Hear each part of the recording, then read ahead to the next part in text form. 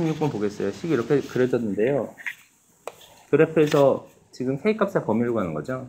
그럼 1,2의 점을 찍고 여기서 2x 그래프를 그린 다음에 요거보다 작은 x의 범위에서 그래프를 그려야 돼요. 그러면 얘는 그래프가 이렇게 그려지면 안 되고 이렇게 그려지면 안 되고 이렇게 그려져도 안 돼. 그러니까 요 범위 사이에 요 범위 사이에 그래프를 대, 략 이렇게 그린다고 생각하시면요.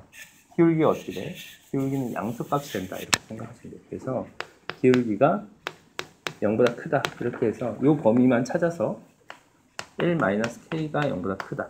음, k는 1보다 작다. 이렇게 범위를 구하시면 되겠다. k 값을 구체적으로 구하라는 게 아니니까.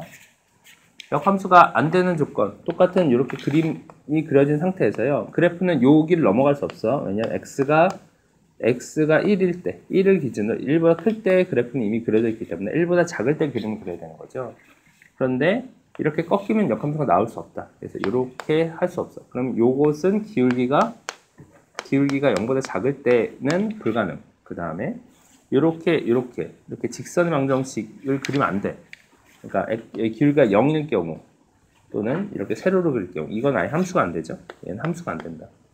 세로로 그리는 건 함수가 안 돼. 어, 가로 얘는 함수는 되지만 1대1 대응은 아니야. 내려놔 빨리. 그래서 얘는 0보다 크다. 이 범위를 찾아주시면 돼요. 1대1 대응의 조건 찾는 것이다.